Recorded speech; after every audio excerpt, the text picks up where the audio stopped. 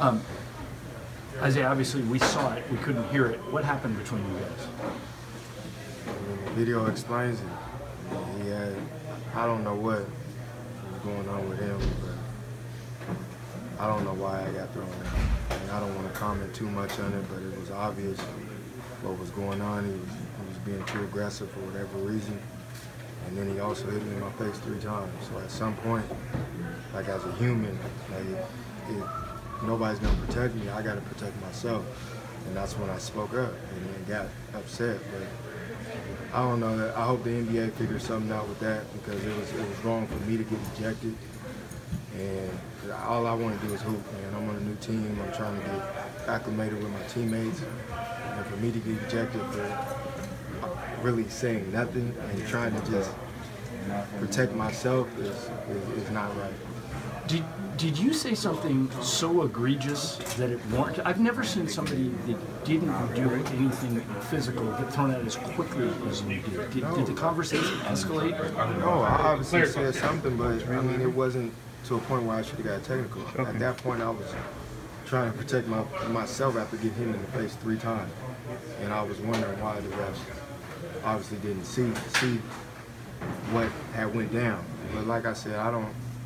I mean, it is what it is. Hopefully, the NBA looks at it because I mean, I was the one that should have got ejected and couldn't play tonight, and I'm upset about that. Luke was saying that he felt like they were almost waiting until it escalated, until like Rondo kept coming at you and at you, and then it was almost like they were waiting until they could give a double tag. That's what I'm saying. Yeah. Like it felt like they were waiting for me to get upset. Like I was, I got hit in my face three times, and then until the third time I got hit in my face, I reacted and tried to tell the refs, are, are you guys going to control this? Which hopefully, like I said, the NBA season looks at it, figures those things out. But I, I definitely need to get those technical fouls rescinded because I, I didn't do anything. Rondo earlier said some things about your video tribute. And did that? Did he bring that stuff did. up? He did. He brought it up. What'd he say? I mean, he's for whatever reason he's an upset guy about me. I don't know what it is, but it, it's fine. Like I can't control that. He kept bringing the tribute up when I was the one that shut the tribute down. So I mean, I'm far past that on the Lakers trying to figure out how to help this team win. And for the things that happened today happen and me to get ejected is, is uncalled for. Isaiah, did you guys have any previous history before this whole video thing? I mean, my team beat his team in the playoffs last year. Maybe that is what's wrong. I, I don't know. There's nothing.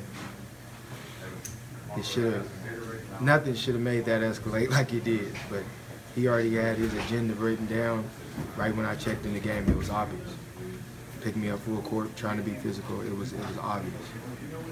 Were you when you first heard those quotes that you had about about you not saying that you didn't deserve a video tribute? Did you, like, were you surprised by that? What was your? I mean, I was surprised. I think a lot of people were, but it. I think the world made it bigger than what it was. Like everybody who's been on the team for a while has gotten a video tribute. I mean, Pat, Patrick Beverley got one in Houston. Um, Chris Paul got one in in, in in with the Clippers. It's like they didn't win no championship, but it's just it's it's just a respect thing. Like he said what he said, I laughed it off, and it, it was what it was. I'm the one that stopped the video tribute from happening because I wanted Paul Pierce to have his full night, and I didn't want to take anything from him. And I know he played on Paul Pierce's team, and he's gonna always have Paul Pierce's back, which, which is fine because I, I didn't lose sleep over it, but it, it was obvious, continued to be brought up with what happened tonight for whatever reason. So there's no like nothing you can think of that's like a personal backstory. I don't know him. Okay. Personally, I don't know him. I've never talked to him. I mean, we've just battled and competed throughout the years, and every time we battle, it's been a little bit more and more.